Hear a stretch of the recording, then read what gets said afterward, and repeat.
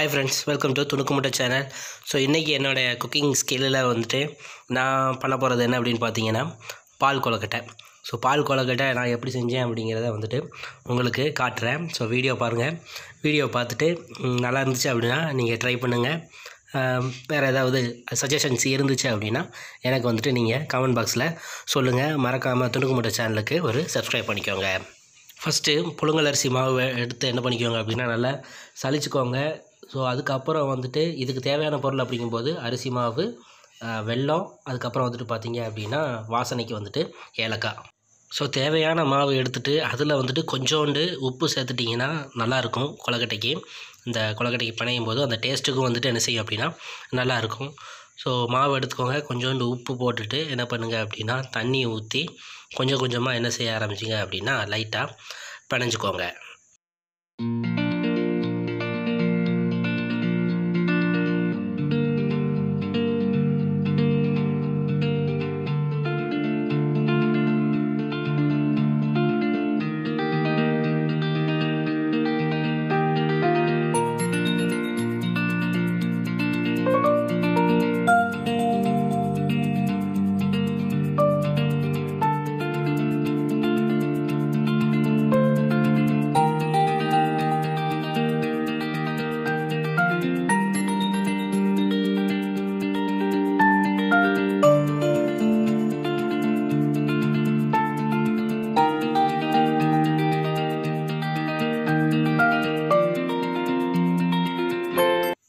ரொம்ப தண்ணியாக பிணைஞ்சிடாமல் கரெக்டாக உருண்டை பிடிக்கிறதுக்கு ஏற்ற மாதிரியாக என்ன செஞ்சுக்குவோம் அப்படின்னா கொஞ்சம் கொஞ்சமாக தண்ணி விட்டு பிணைஞ்சிக்கோங்க.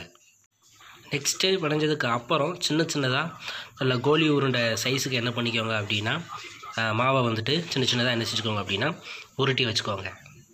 சின்னதாகவே என்ன செஞ்சுக்கோங்க அப்படின்னா உருட்டி வச்சுக்கிறது நல்லது. கொஞ்சம் வேகும்போது அதோடைய சைஸ் வந்துட்டு என்ன ஆகும் அப்படின்னா கொஞ்சம் பெருசாகும். ஸோ சின்ன சின்னதாகவே உருட்டி வச்சுக்கிட்டிங்கன்னா நிறையாவும் இருக்கும்.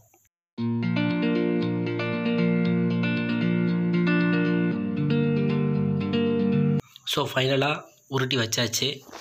ஸோ நெக்ஸ்ட்டு கொலக்கட்டை பண்ண ஆரம்பிச்சிடலாம். அடுப்பில் ஒரு பெரிய கடாய் வச்சுக்கோங்க. இதை விட பெரிய கடாய் உங்கள் வீட்டில் இருந்துச்சுன்னா வச்சுக்கோங்க. அதுக்கு நம்ம எத்தனை உருண்டை உருட்டி வச்சுருக்கோமோ எவ்வளோ மாவு எடுத்து வச்சுருக்கோமோ அதுக்கு ஏற்ற மாதிரி தண்ணி எடுத்துக்கோங்க. தண்ணி எடுத்து அதில் வந்துட்டு மண்டை வெள்ளம் இருக்கு இல்லையா? மண்டை வெள்ளத்தை என்ன பண்ணுங்க அப்படின்னா போட்டு பாகு காய்ச்சுங்க.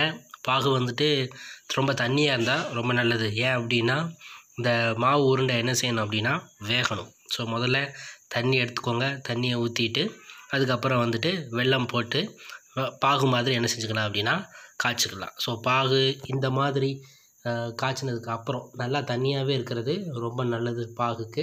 ஏன் அப்படின்னா மாவு உருண்டை என்ன செய்யணும் அப்படின்னா வேகணும். அதுக்கப்புறம் கொஞ்சமாக ஏலக்காய் போட்டுக்கோங்க வாசத்துக்கு. ஸோ இந்த பதத்துக்கு வச்சுட்டு என்ன பண்ணுங்கள் அப்படின்னா நெக்ஸ்ட்டு கொதித்ததுக்கு அப்புறம் ஒவ்வொரு உருண்டையாக எடுத்து என்ன பண்ணுங்கள் அப்படின்னா மெதுவாக இதில் வந்துட்டு என்ன செய்யலாம் அப்படின்னா போடலாம்.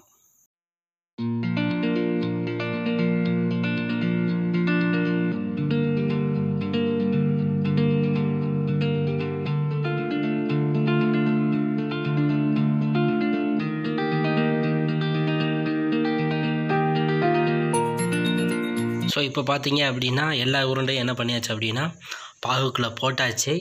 அடுப்பை வந்துட்டு சிம்லேயே வச்சுருங்க. அடுப்பை வந்துட்டு நிறையா வந்துட்டு வைக்க வேண்டாம். ஹை ஃப்ளேமில் வைக்க வேண்டாம். சிம்லேயே வச்சு என்ன செய்யலாம் அப்படின்னா வேலை பார்க்கலாம்.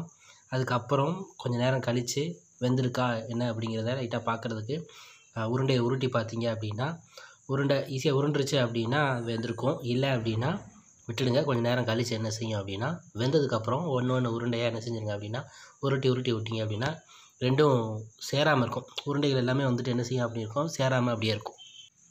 ஸோ உருண்டைகள் எல்லாமே வெந்துட்டு இருக்கும்போது பால் கொழுக்கட்டை வெந்துட்டு இருக்கும்போதே துருவி வச்சுருக்கக்கூடிய தேங்காய் வந்துட்டு போட்டிங்க அப்படின்னா நல்லாயிருக்கும். ஏற்கனவே நம்ம வந்துட்டு ஏலக்காய் போட்டுட்டோம். அதுக்கப்புறம் டேஸ்ட்டுக்கு தேங்காய் பூவை தே சேர்த்தோம் அப்படின்னா வெந்ததுக்கப்புறம் டேஸ்ட்டு நல்லாயிருக்கும். ஸோ இப்போ பார்த்தீங்க அப்படின்னா வந்துக்கிட்டே இருக்குது.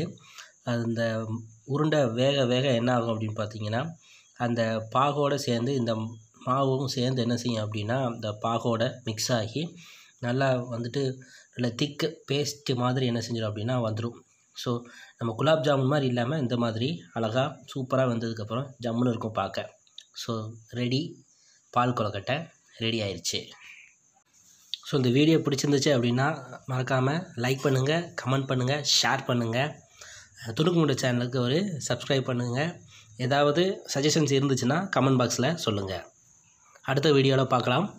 நன்றி வணக்கம்.